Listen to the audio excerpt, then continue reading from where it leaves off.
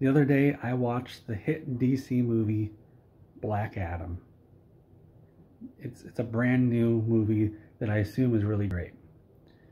And I say assume because I, I clearly have some memory problems. And that's why after watching this movie, I ran to the hospital and I said, Hey, doctor, I just watched the new hit DC movie Black Adam.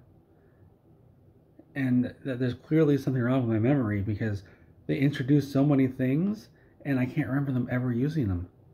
Like the like the Rock, he can only be hurt by Eternium, and we learned that in the beginning of the movie. And then they just never use Eternium to hurt him again, and that doesn't make any sense. So clearly, there's something wrong with my memory. And then there's just all this other stuff that I can't remember because my memory is so bad. And and after I watched the movie, I got really really angry for no reason. I don't know why, because this is such an amazing movie, and I and I I broke my my 10 Skyrim disc.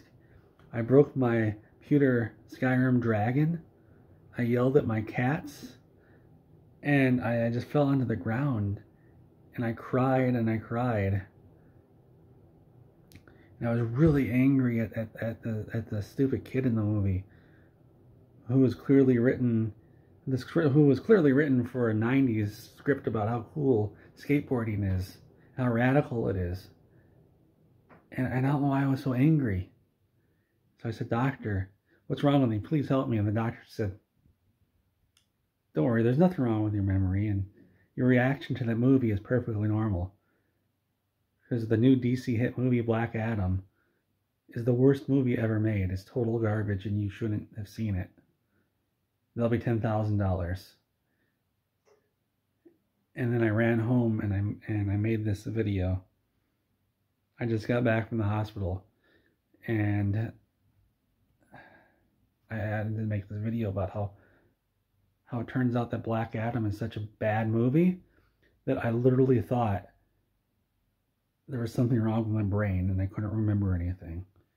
So if you watch Black Adam, just remember that's just the way the movie's made. That's not you. It's not it's the movie's fault for making you think you have serious mental problems.